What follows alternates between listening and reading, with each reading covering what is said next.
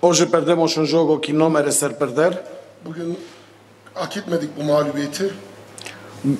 Gençler não tiveram nenhuma oportunidade clara na primeira parte, só tiveram oportunidades quando nós abrimos segunda parte. Rakibimiz ilk yarıda net fırsatlar yakalayamadı.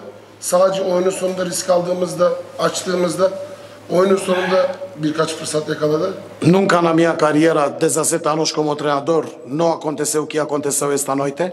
17 yıllık kariyerimde bugün olanlar başıma gelmemişti daha önce.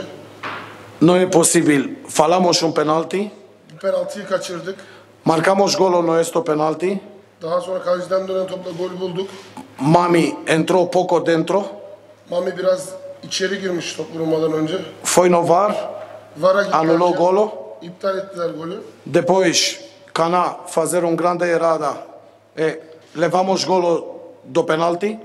Daha sonra Kanabi çok büyük bir hata yapıp penaltıya sebep verdi. Nosso guarda-redes tocou a bola. Kalecimiz topa dokunmasına rağmen çıkartamadı. Depois marcamos, acho que Mami também tem 10 milímetros no offside. Daha sonra yine bir gol bulduk.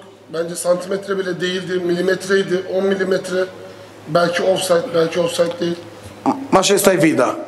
Tudo é da Deus. Deus hoje não queria, nós levamos de um ponto. Deus hoje foi com Gensler. Bugün Allah Gençler Birliği'nin yanındaydı. O onlar şanslıydı bugün. Bizim kazanmamızı istemedi Sobri Gaziantep. Uh, sobre Gaziantep, que pode falar? Hum, Este não é bom momento. Eu estou perto de tudo famílias de lá. Espero que ninguém não machucou, porque uh, é pior coisas que acontecem na vida. Bugün Gaziantep'te yaşanan depremden dolayı da çok üzgünüm. Gaziantep halkıyla beraberim. Umarım kimse can kaybı yaşamamıştır, yaralı yoktur. Tekrar buradan Gaziantep halkına geçmiş olsun diyorum.